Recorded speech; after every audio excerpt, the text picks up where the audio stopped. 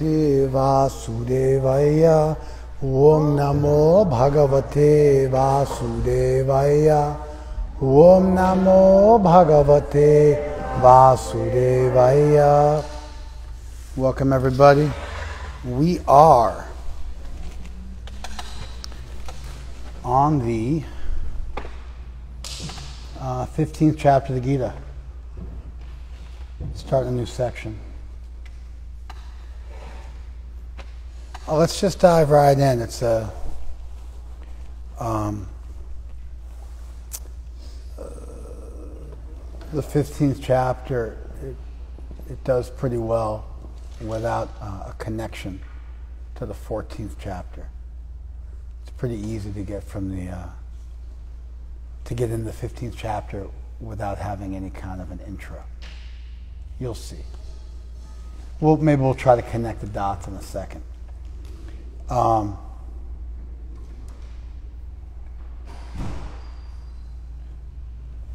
it is said that there is an imperishable banyan tree which has its roots upward and its branches down,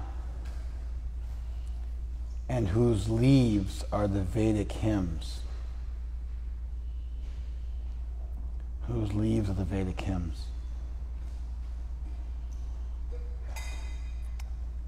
One who knows this tree is the knower of the Vedas. So let's let's do it one more time. It's said that there is an imperishable banyan tree that has its roots upwards. Visualize it, the roots are going upwards, and its branches are down, and the leaves are the Vedas. One who knows this tree is the knower of the Vedas.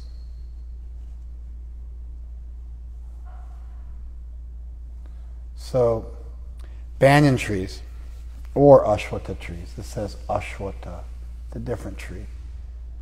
It's super similar to the banyan tree. It's from the same family. Uh, I think it's called, it's a ficus, which I think is like fig type tree. I think it's called Ficus religiosa, but I didn't bother. I think there's actually like a religious ficus thing that's going on. I can't remember what the exact name is though in Latin. But um, the, the banyan tree and the ashwata tree are both. Ashwata literally means you put your horse there. Ashwa means horse, so ashwata means you keep your horse there, like you wrap your horse like with a rope around the tree, and then you keep your horse there. So the banyan tree and the ashwata tree are atypical. There are probably other trees like them, but they're pretty unique. If you see them, you remember it. They they they have secondary trunks that shoot down from their branches. So when you get an old tree, you'll see the main trunk, and it'll have a huge canopy that couldn't possibly be uh, supported by the tree. You know, you can only support so large of a canopy because it, as you put, I don't know how exactly it works, but when you have the fulcrum and the moment arm, I'm not exactly sure how it works, but the further you get out, I mean, I know the principle, the further you get out away from your center, then the more you feel the weight and the less strength you have, which is why it's easier to push someone's arm down out here than it is to push their arm down from here, because they're closer to the center of gravity and there's less uh, uh, leverage. So they have these massive canopies that come off of them, which would just break.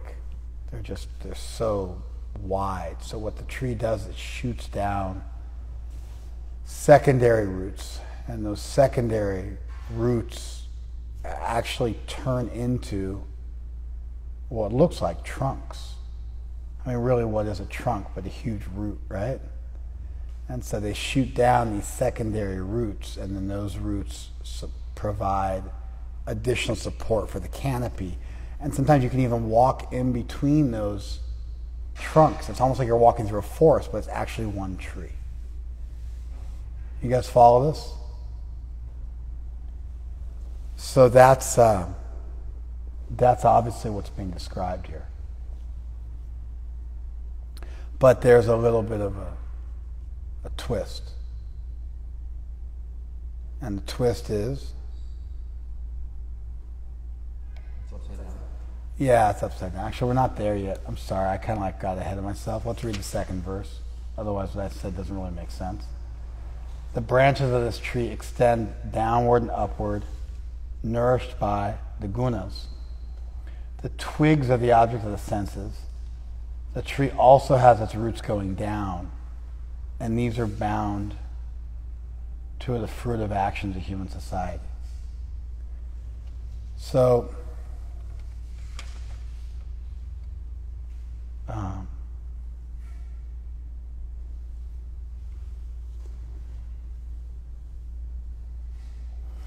branches going down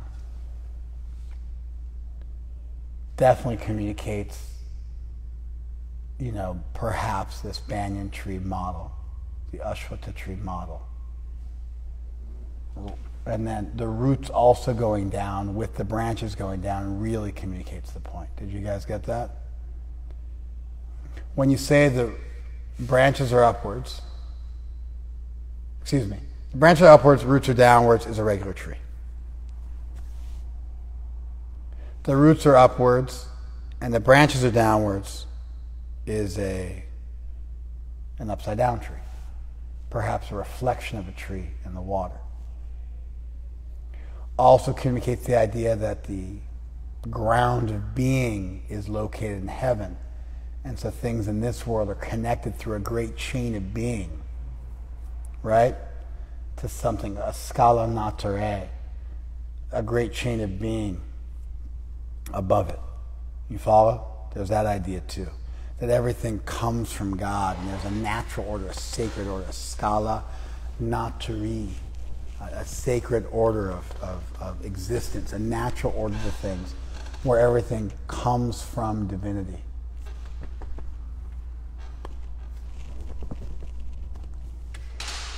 You. That was it. You showed me a little too much leg. It's okay. You're good now. So, this sacred order, um, where everything comes from divinity, everything is connected to divinity. You following? Pay attention, Shay. Here, don't look at the book. Eyes up front. Good. Um, so, one thing you get with the idea of the roots facing upwards is you get the idea that the tree is coming from God or it's coming from heaven or it's coming from spirit.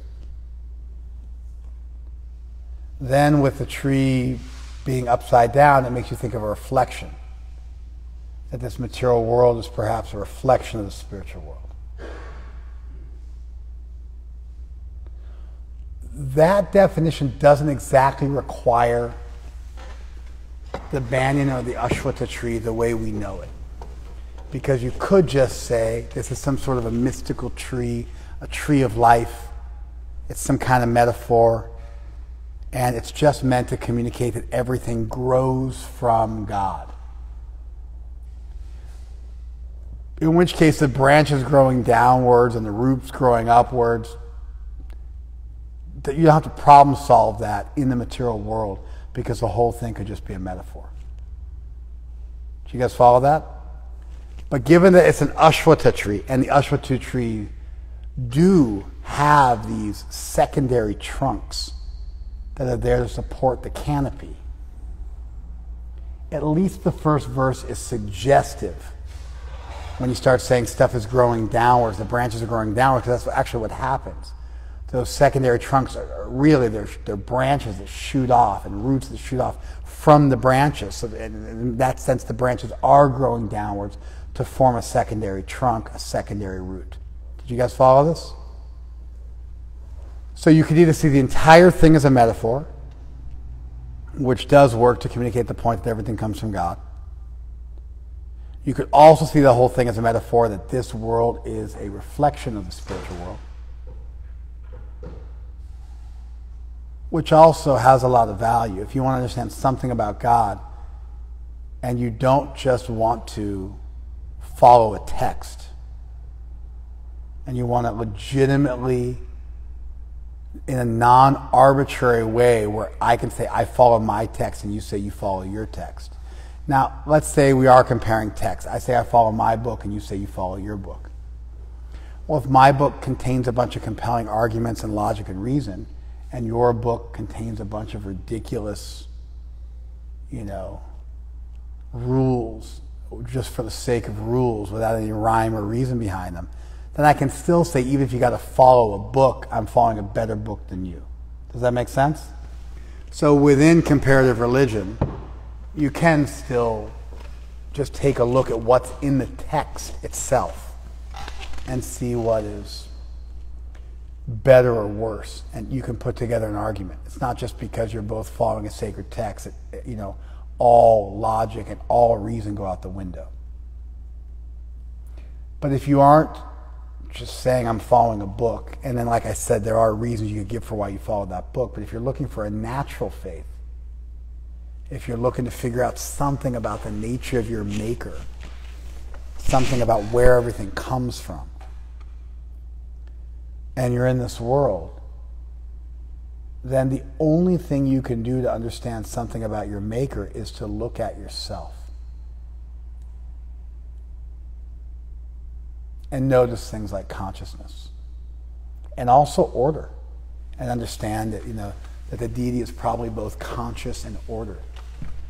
An ordered universe is the child of god. Therefore god would tend to be logical and ordered.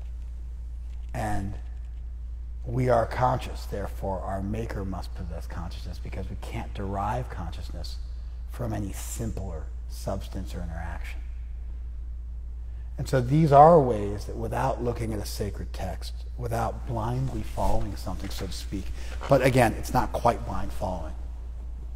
It's not quite blind following. It's not, it's not quite that. Uh, there, there is something to be said for reading a text and giving it a fair shake and testing out its hypotheses if they pass muster, so to speak, and, and, and, and you know, get you off the ground. But if you do want to just start from nothing, then you look at yourself and you understand something about your maker. Seeing this world as a reflection of that world has value. It's, it's intuitive. It's automatic. It's the way we function when we're trying to trace out the origin of something. We look at the effect and then we try to reason back to the cause. I see everybody's dying. It must be that all men are mortal. I see that things tend to disintegrate. There must be a principle called entry, uh, entropy. I see that things tend to fall. There must be a principle called gravity. I see the tide goes up when the moon comes up. There must be something related with the moon and its, its, its force being exerted on the earth. You look at the world, you start to understand something about how it's made by looking at it, and you start to search out through the effects and you reason back to the cause. That's why the term cause and effect is, that, is poor from a philosophical point of view. Because the actual way it works is you go effect to cause. You look at the effect, then you work your way back to the cause. Even when you talk about deductive logic as being super strong and you can make really good proofs deductively, and your proofs are much less strong if they're made inductively or inferentially. And so, but the backbone of all deductive logic, all big logic, is simple observation. How do I know that all men are mortal? Because I see a bunch of people dying around me, and then I'm able to reason back to the big point that all men are mortal, so I can start to work with those bigger concepts. So, even from an intuitive point of view, the idea, the, the meditation of looking at the world as a reflection of divinity has a lot of value. Of course, if you look at the world as being a perfect representation of divinity, then what's the problem? then divinity is not so divine after all. Because this world is filled with temporality and imperfection and error and negative qualities. And so looking at the world as a reflection has value in that it allows you to see something of the form of this world and see that that must be represented in transcendence, but not to be married to exactly matching up every detail. For instance, is there rape in heaven? Trigger warning. I was supposed to say that beforehand, but sorry. Uh, is there rape in heaven?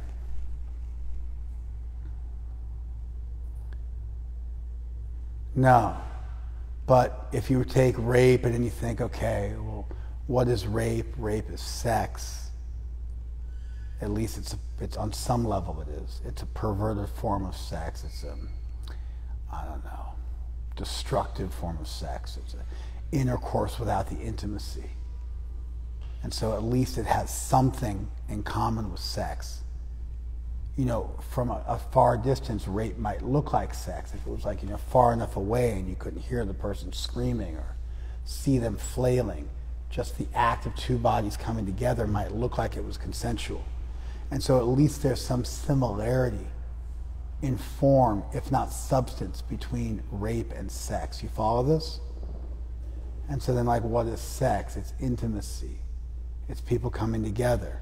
So if you start to essentialize and sort through the discrepancies you find in how things manifest in this world in a perverted way, then you can look at heaven as being the sort of purified seed-like form of everything which ends up growing in a bunch of funky directions in this world. Did you follow that? And so sex becomes this perverted, detrimental, deleterious, degrading form of intimacy that is actually the opposite of intimacy. And so that wouldn't be in heaven, but the pure form of everything would be.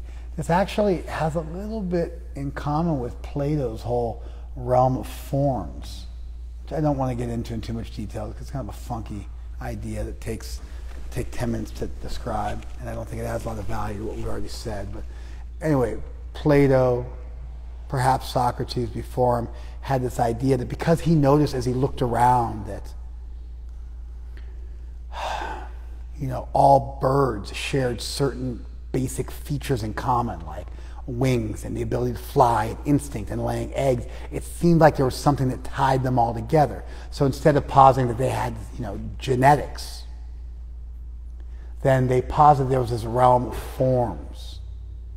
And there was some sort of a heavenly abode or some sort of a philosophical place in the universe where everything which has wings and is a bird and can fly is participating in that essence of a bird.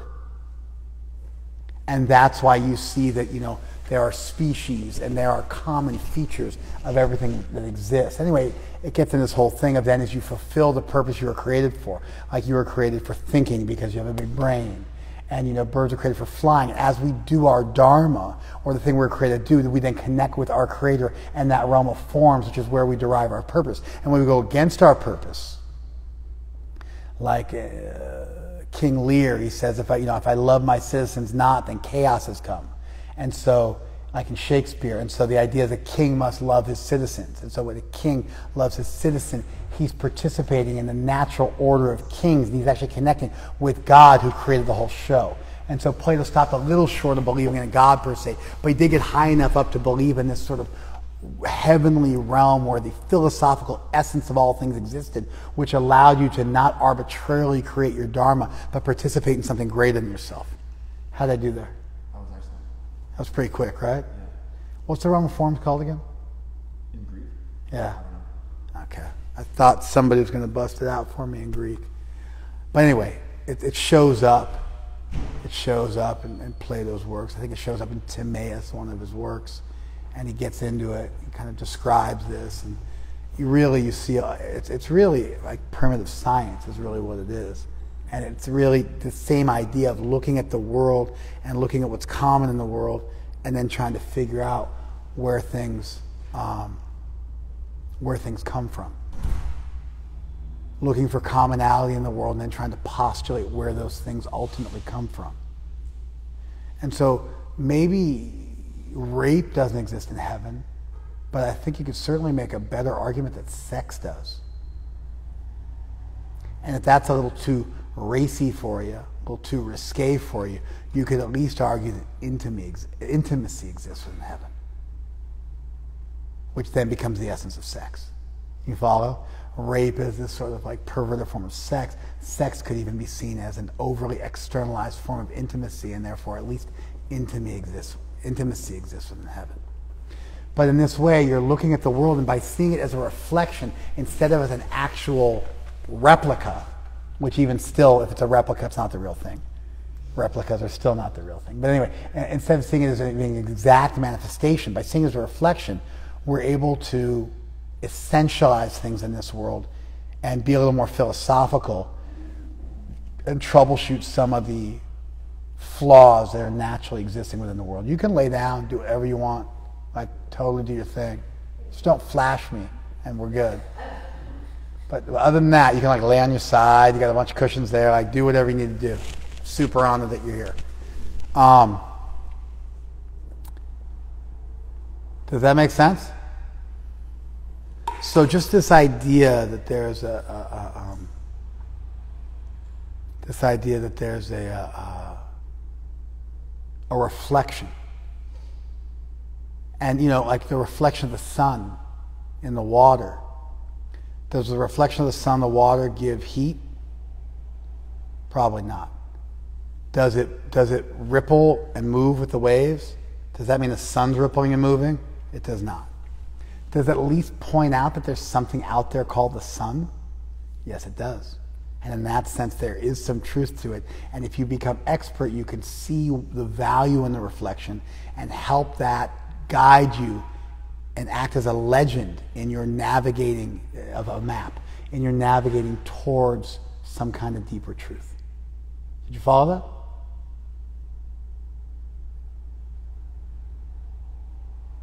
that? At least we get that from the first verse. The second verse messes it up a little bit, but it's suggestive because the Ashwatha tree, it says the branches go downwards. And so if you did want to go into what I just like, went on a whole big thing with a ficus religiosa, and and uh, which I'm almost certain is the name of it, which is pretty cool, right? Ficus, I believe, means fig, and then religiosa is this. Not all figs produce actual figs, by the way, but then uh, uh it, uh, it's a religious ficus because know, the ashwatha tree and the banyan tree are super sacred in India. Super sacred in India. When you do a yagna, you get wood from those trees, and it's really good to use in a yagna. Tulsi is also really good to use in a yagna there's different trees, you know, the pipal tree. Like we go through Pipal Koti, that Indralok place where you guys eat. That South Indian, North Indian vegetarian restaurant where you guys eat called Indralok where Howard wanted to stay. And so we had to like give him some Benadryl and like handcuff him to the back. So we got up to Badrinath. Were you there for that? Yeah. So that place, Pipal Koti means millions of pipal trees. And the pipal tree is this like super straight tree with like little like thorns growing off of it. And then it, it makes a really cool staff. So sannyasis and renunciates traditionally used it. Or the Arjun tree. Arjun. Arjun means straight. So the Arjun tree is straight, straight up and down. So these trees, they all have like their specific purpose. They're like, some of them are religious. They're used in religious ceremonies and rituals. And so this tree, you know, Uh, Ashwatha tree is mentioned in the Veda.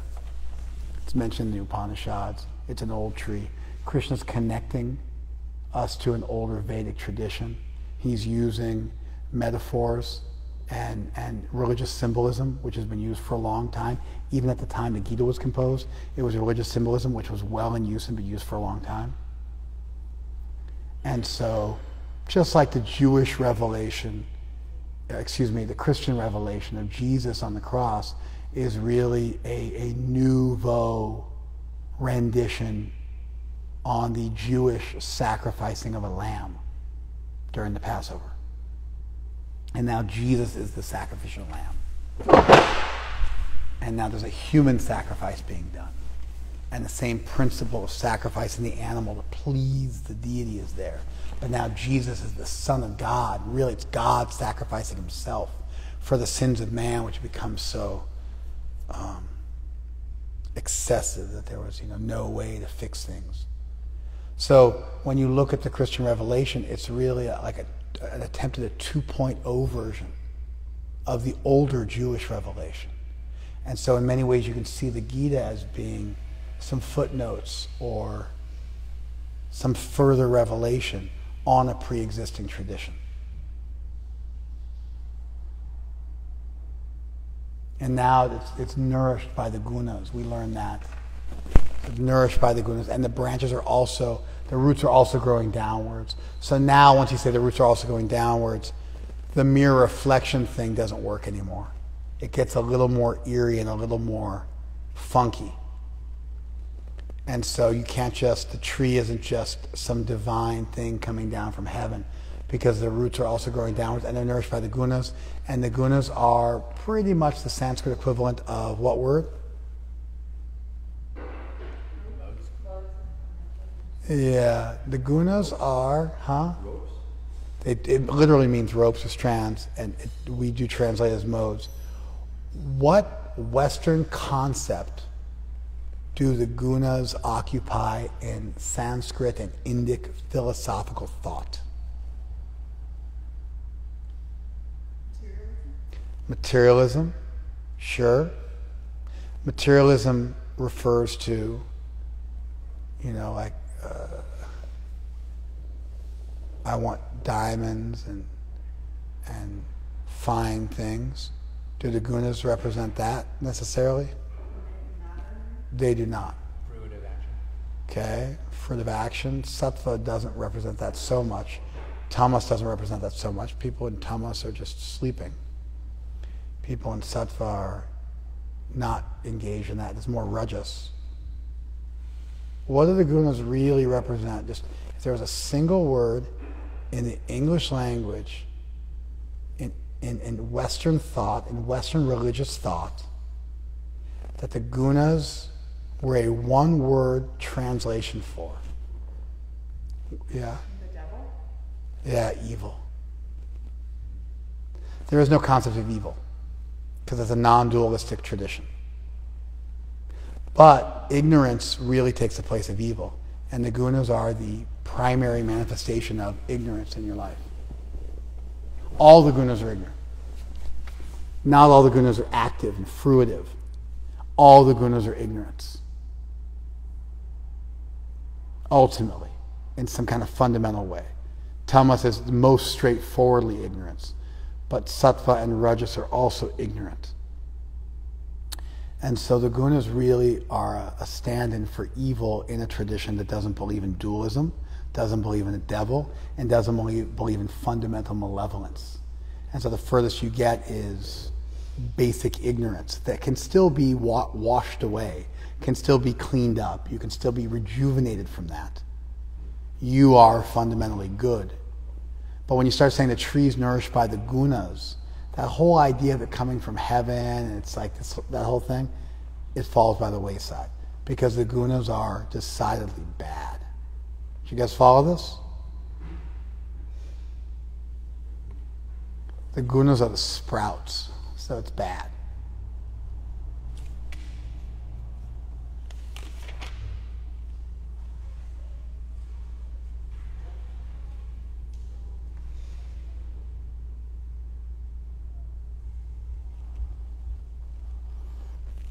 The branches of this tree extend downwards and upwards, nourished by the gunas. Oh, I'm sorry. The gunas are nourishing the tree. And then Vishaya is Pravala. Vishaya is, is the, uh, are the sprouts. Pravala. So the sense objects are the sprouts, also bad. Sense objects are probably as close as you get to the devil, too. They're the things that entangle you in this world and mess you up and throw you off kilter. the twigs are the objects of the senses. This tree has its roots going down, and these are bound to the fruitive actions in human society. So now the idea of the tree just extending upwards doesn't work anymore. The idea of it literally referring to a banyan or an ashwatha tree as a metaphor, where you look at the tree and then you find what each thing of the tree represents, works now.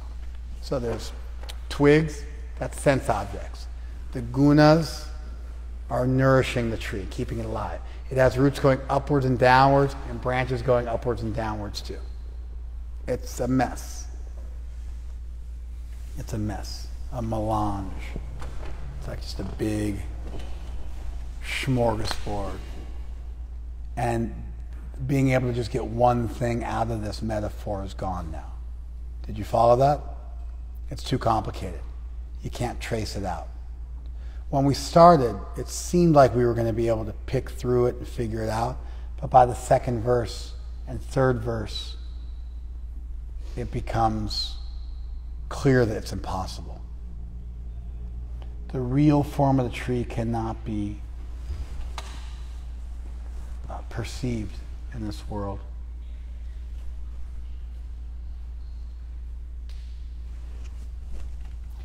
No one can understand where it ends, where it begins, or where its foundation is, but with determination, one must cut down the strongly rooted tree with the weapon of detachment. So, na rupam, asya iha, tata upalabhyate. You can't ascertain the form of the tree. So that we thought we could ascertain the form of the tree, but you can't. Why can't you ascertain the form? Well, Ada cha urdvam prashishta tasya shaka. The branches go upwards and downwards, they're all spread out. So the branches are going upwards and downwards. Guna pravridha. It's being nourished by the gunas. That's bad. Urdvamula. The branches are, the, the trunk is going up. Right? And then uh, shaka, shaka, uh, ada the branches are going down and the trunk is going up. But now the branches are going both up and down, nourished by the gunas. Ada chamulani, the roots are also going down. Now the roots are going up, roots are going down, branches are going down, branches are going up. Nourished by the gunas, vishaya pravala, and the, uh, sense objects are the twigs. Karmanu bandhani manushaloke. Um, Mulani Anush Shantatani. Uh, the, the roots are spread out going downwards, and the uh, tree is, is following karma and bound to karma in this world of men. So the tree is now fully material, kind of close to evil. And then we also have the Udva Murla, it's going up and Ashwatam Prahur Avyam. It's said to be an inexhaustible banyan tree. And Chandangsi, Yasya Paranani. The hymns of the Vedas are its leaves. That sounds pretty spiritual. Yastam Veda Saveda Vid. If you know this tree, you know the Veda. So it starts off sounding kind of good, but then by the second verse, it's bad.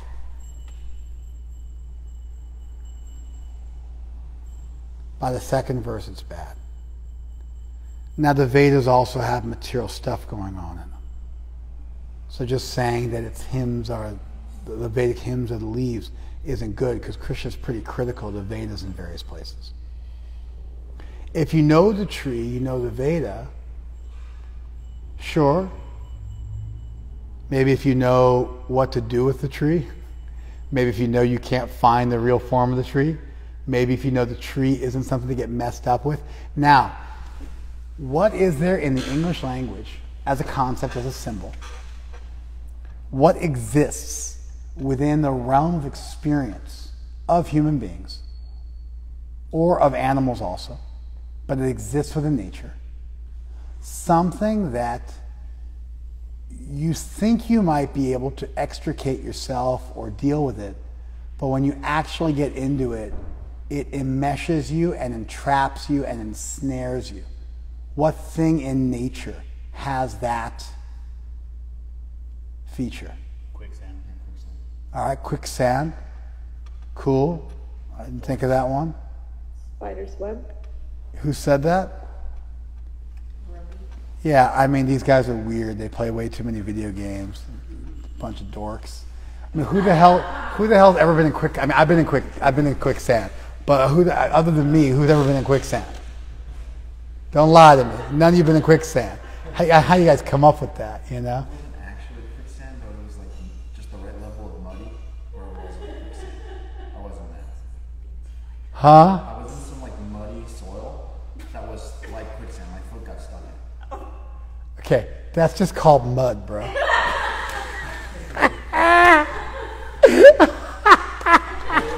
was like the suction Yeah, how far did your foot get caught? up above the knee.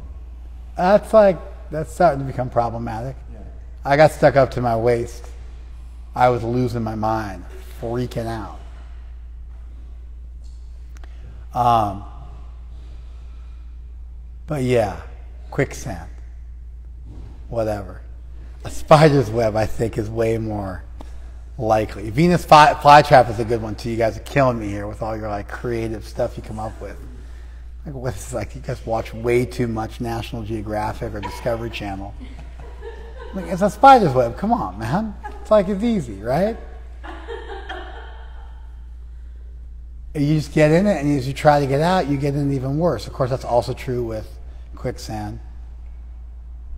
Not really true with the Venus flytrap. That's just a whole other ball game. I don't even know what a Venus flytrap does. I mean, I know, like, I guess it digests you with its digestive juices after it traps you with jaws of death. Um, but yeah, you get this spider's web. I, I really feel like when you start to think about this, branches are going up, branches are going down, roots are going up, roots are going down. It's bound to this world. It's nourished by the gunas. There's an evil element to it.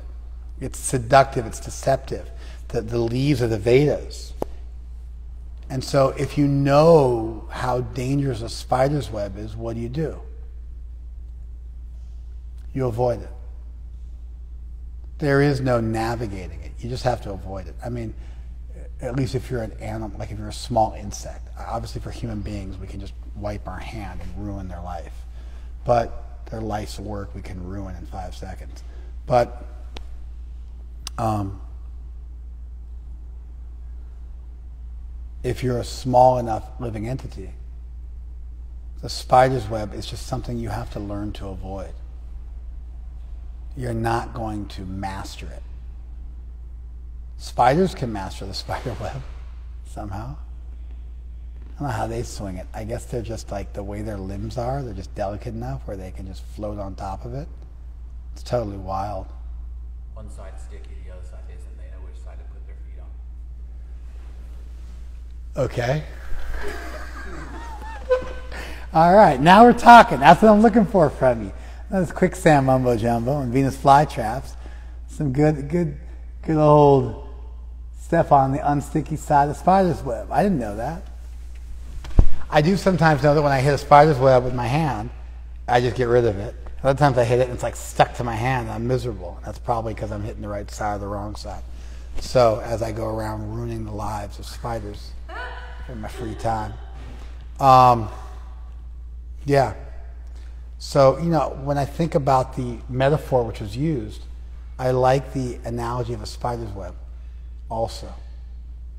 And so when you know na rupam asya iha upalabhyate, you can't perceive the real form. Na anta, na cha adi, na cha sampratishta. You don't know the foundation of it. You don't know the beginning of it. You don't know the end of it. It's interesting because the basic principle that everything comes from spirit, you can understand that. But if you try to really intricately figure out the material world, you just get stuck in it. It never ends. Like, for instance, if you try to extricate yourself from all karma, like the Jains, you know, they only eat, they don't eat root vegetables. And then they walk around with a broom, sweeping the ground in front of them to sweep insects out of the way. And then they wear a mask. Right? What all the microbes in the water? If you're going that route, that's the game of karma. What about all the microbes in the water and all those little animals you're killing? Like the microscope ruined their whole philosophy. Also, what happens when you jack an animal, like a little teeny weeny animal, with your uh, with your broom? How about that, right? Uh, during the '70s, the Jains, you know, they're, they're famous for being super pious and ahimsa, and so they were selling ghee in India, but they were mixing it with with either lard or pig fat. I can't remember, and it got discovered because the Jain businessmen were such paisawalas, such, I don't know what the right word is, shekel misers, whatever the word is. Shysters, thank you. They were such shysters and paisawalas that they were, they were selling contaminated ghee. Prabhupada heard about this. He's like, that's why we need farms. That's why we need our own cows. Not that's why we need to, you know, be vegan and just not deal with the cows. That's why we need to take care of the cows ourselves and only take dairy products we get from our own cows. Um,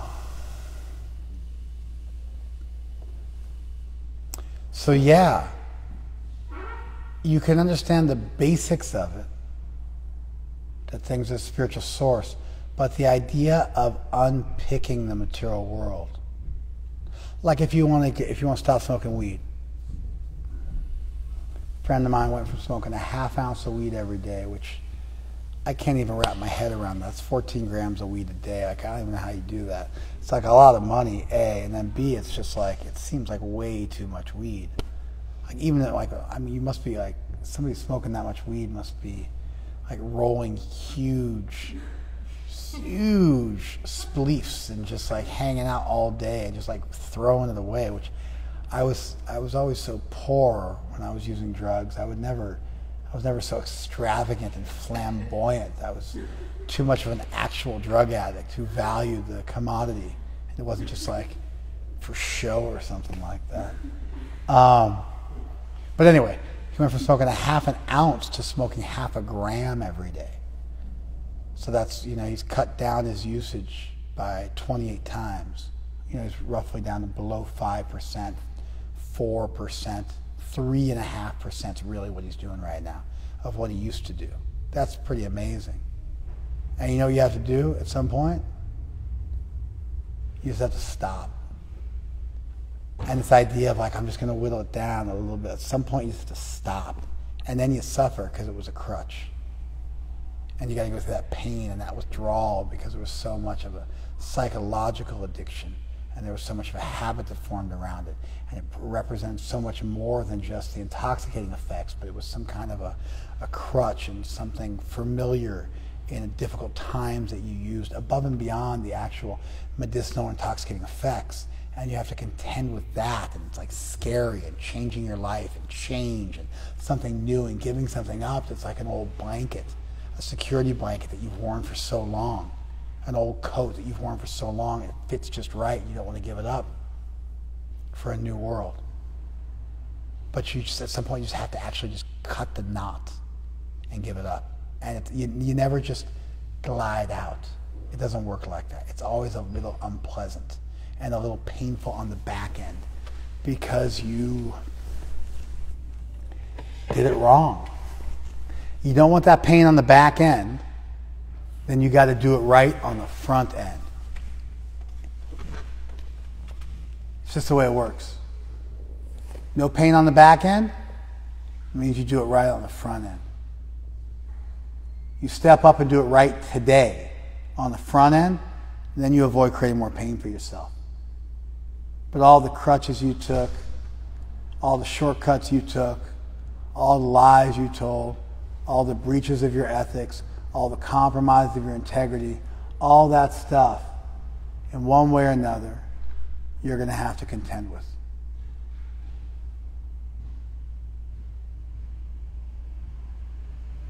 The devotee still contends with it. You know, Krishna frees you from your karma and to hold you in the palm of his hand, but he still gives you enough for you to learn your lesson. We still have to, even if it's just internally, feel the appropriate remorse, realize our mistakes, learn our lessons, and become cured, become better.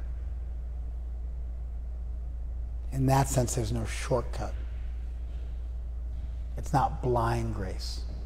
Just like we shouldn't have blind faith, it's not blind grace. You have to be open and receptive to it, and it's transformative. And part of that is you realize the mistakes you made, you feel appropriately bad, you make amends. You stop trying not to pay for stuff. Does that make sense?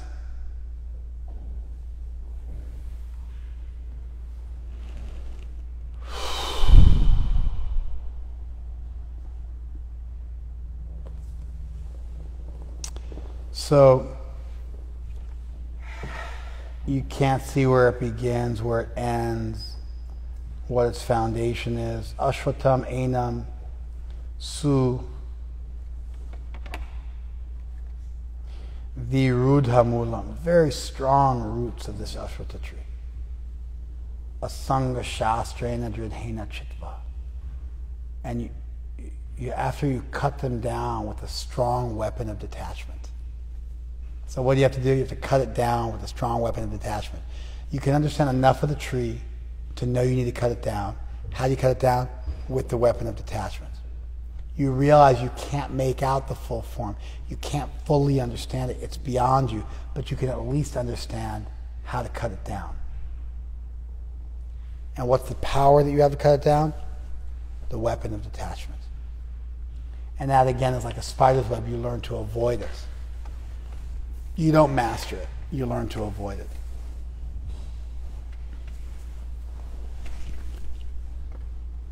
But with determination, one must cut down this strongly rooted tree with the weapon of detachment. The real form of this tree can't be perceived in this world.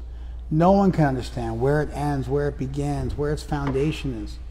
But with determination, one must cut down the strongly rooted tree with the weapon of detachment. And thereafter,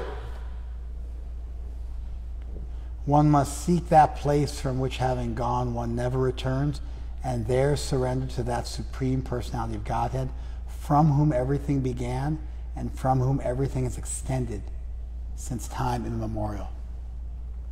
Tata padam tat parimargitavyam. You have to search out that place. Yasmin gata nadivartanti buya, from which having gone, they don't return again. So you have to go to heaven, go to spirit, go beyond this world, right? Go beyond the tree entirely to a whole other plane. Tam eva cha adyam parusham prapadye. And there I surrender to the original person. Prapadye is in the first person. And there I surrender. So this is, this is the way you should think. It doesn't say et, which would have quotation marks, but the way the language is in the first person. And there I surrender to the, to the original being. I can't figure out where the roots begin.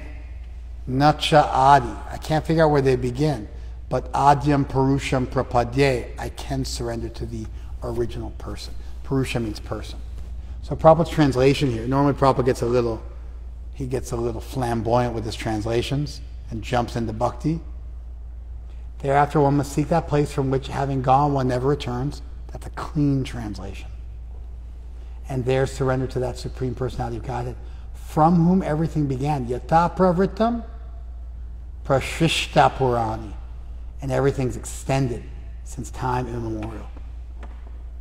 So that original idea of the root going upwards is then re-invoked at the end. So what we're left with is the material world as a reflection of the absolute world that gives you enough of a sense of that world that you can use this world therapeutically and you can intuit and search after and look for higher and deeper truths. But the material world is dangerous because the branches go up and down and the roots go up and down and it's in, inexorably karma anubandhana. It's inexorably linked to karma, guna pravala, guna pravridha. The gunas are nourishing it. Vishaya pravala. the sense objects are the sprouts. And so, although the tree is linked to something higher, it gets messed up and turns into a spider's web. And even the Vedas, Chandangsi, Barnani, the Vedas are the leaves. And uh, Yatam Veda Saveda Vit. Yastam Veda Saveda Vit. If you know this tree, you know the Vedas. Maybe not every intricate detail of the tree because narupam asya tata upalabhyate, you can't perceive the form. Nacha adi, nanta, nasam pratishtani. You can't find the foundation of it. You can't find the beginning of it. You can't find the end of it. Nasam pratishta. This ashwatam has virudha mulam, very strong roots. But asangena shastrani, with the weapon of detachment. Chitva mulam, you can cut down that root. And after that, chitva means after having cut down that root. Then, tatapadam, tat parimargatavyam, you can search out that place. What place? Yasmin gata na nivartanti bhuya. That place from which having gone you don't come back. And then tam eva chadyam purusham prapadye. Then you can search out Adi Purusha. Adya Purusha, same thing. Adi Purusha, the first being. Adya Purusha, the original being. Prapadya, I surrender to that original being. Yasmin, from whom? Yata, from whom? Pravritti, Prashrishta Purani, from whom everything comes forth and has spread out from time immemorial. And so there is a single source of that tree. You can actually master that tree. Not by mastering the intricacies of it like a Jain who's going to never commit karma and is going to somehow or other save the planet by never doing anything wrong, but by understanding the source of everything. And that's enough. You don't have to get mixed up in the spider's web because you see the spider making the web and you understand what's going on. It's no longer fascinating. You see okay, it's from coming from the spider. I can't ever figure out what they're doing, but I'm no longer vexed. I get it. I went to, I saw them doing like two or three lines. Then I went to sleep. I woke up and it was all done. I can't quite ever figure out how it all got done. The intricacy of it too much for me. Can't quite figure it out. But at least I understand the principle of that it comes from someplace. I looked at the reflection enough to understand something of what caused that reflection. Did you guys follow that? And that is the first few verses, the first four verses. We get the Ashwata tree, like the banyan tree, this Ficus religiosa, this sacred tree from ancient India. You're looking at a, a natural thing and you're learning lessons from it. The roots are going up and down, the branches are all around. You kind of can figure out where the one root is of the tree, but this tree is unique and its roots go upwards, but you can't quite ever figure that out if you get too wrapped up in the tree. So at least you can understand the tree enough to know you need to cut it down to see beyond it. And what's beyond it? A place beyond time. And what's in that place beyond time? The original person that you surrendered to. And what's that person's quality? Everything came from. Do you guys follow that? Does that make sense? I felt like I was fumbling a bit at the beginning, but I think it came together at the end. I don't. Need you like shaking your head like no, you weren't. I know I was. Maybe you said I'm smart enough to know I was fumbling. That's okay. But I was fumbling at the beginning, but I felt like it came together at the end. I felt like we honored this section of the Gita. It came together real nicely. Did you guys get it? All right. Thank you very much, IGTV. Anybody on uh, Facebook or live want to say something?